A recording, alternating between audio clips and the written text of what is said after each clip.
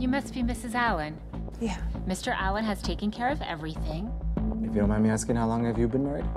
21 years. Your husband must be a very lucky man.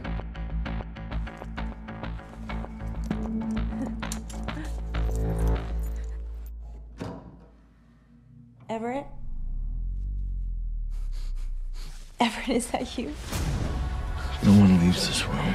Not you, not her. Your family's in danger. Enjoy my wife.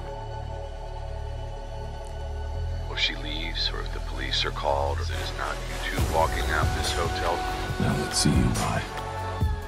You do realize you're having an affair and your husband is police surveillance? Everett, what's going on?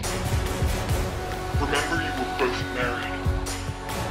Now, only one of you will be checking out come morning and go home to see what's left of your family.